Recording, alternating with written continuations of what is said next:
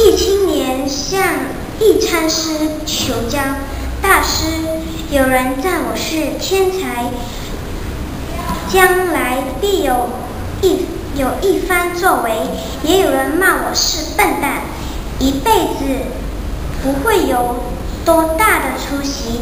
您你看呢？你是如看待自己的阐释？访问。青年摇摇头，一脸茫然。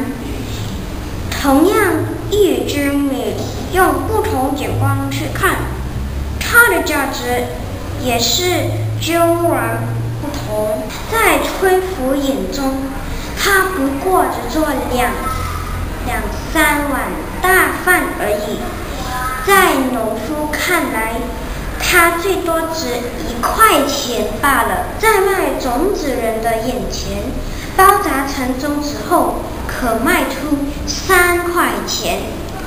在制饼者来看，它被加工成饼干，可卖出五块钱。在味精厂家眼中，它可提炼出味精，卖八块钱。在制酒商来看，它能酿成酒，卖四十块钱。不过米还是那斤米。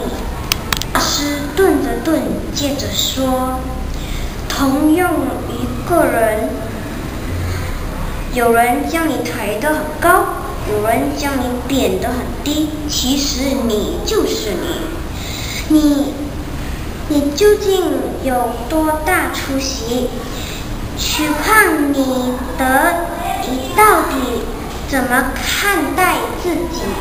青年豁然开朗。